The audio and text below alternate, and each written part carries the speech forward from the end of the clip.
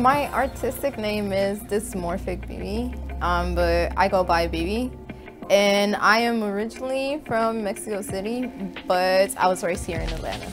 I've been doing art probably about like four years now. Um, really, I think, well, like, you know, nonstop has been four years, but ever since I was a kid, I, I started doing art. Like, ever since I was a kid, I was obsessed with like coloring and stuff, so. I think most of my life. well, when I was younger, when I was a kid, like I was obsessed with it. And I started going to school um, when I started going to school, it was a problem because that's all I wanted to do. Like kindergarten, I didn't want to like learn anything. I just wanted to color. Like as soon as I had a color like in my hand, a crayon and some paper, that's all I wanted to do. So that became a problem and the teachers kind of took that away from me. So throughout like my school career, that went away. I wasn't able to be creative up until like I turned 18, that's when I decided I wanted to start like doing art again and fell in love with it. this painting itself, um, it was originally inspired by like Gucci, the, the brand and everything. Um, I have a passion for fashion as well. Like I, I really like fashion, um, dressing up, styling, like I, I love it. Um, but I also feel like it has a little bit of like myself in it. Um, it definitely represents with like you know the image her having like this draped over her like head um it kind of gives like a little like religious like feel to it um in in my perspective. And i feel like that just comes from like my background. Um she if you look at her she has the figure of like a mother. Like she she gives you that. So i feel like that also comes from like you know i, I just I, I love my mom to death. Like so i feel like that's what it represents. And um you know obviously the the snake was to represent you know the the luxury of the brand. Um but it's you know it, it, it has background in the whole fashion thing as well um, definitely natural talent. You know, like I said, when I was younger, I used to be obsessed. It was just like scribbles and like, you know, but growing up, I did like, my brothers, they did like draw. And I used to, I remember I used to watch my brother drawing and I used to think to myself, like, I wish I could do this. Like, you know, I think that's so cool. Um, never did I actually think that I could actually draw like things for like myself that actually look like something um, you know?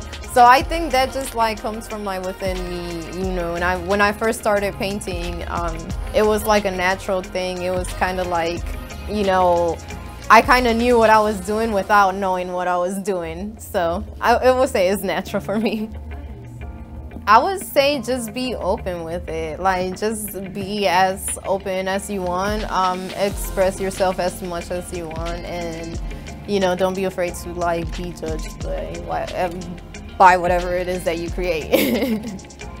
I didn't sell my first art piece up until probably like the second year of me, you know, taking art seriously. Uh, one of my paintings was featured in a short film um, by uh, one of my friends. She was uh, she started creating like little short films, and um, it actually made it into this. Um, I forgot what it was, but you know, it, it, made it into like a little exhibition theme. And um, my art was featured in that film. It was like a glow in the dark film. When she did the preview of the film, like it was a private, you know, viewing and everything, uh, when she did that, she also auctioned like the paintings. And one of my paintings sold, which was my very first painting that I ever sold. Um, I get attached to my paintings, so I don't like selling them like often. I do create prints and like, you know, merch out of my art, but the originals, I just get too attached to them. So that was the first time I sold a painting and that's probably like one of the very few I've sold.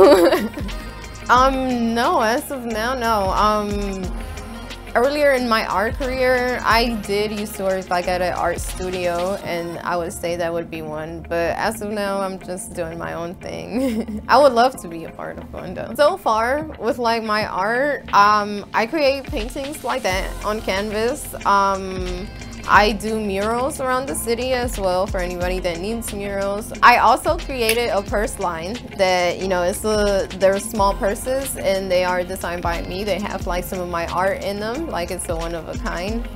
The next thing for my art, I want to create a clothing brand that has art and, you know, fashion mixed into one.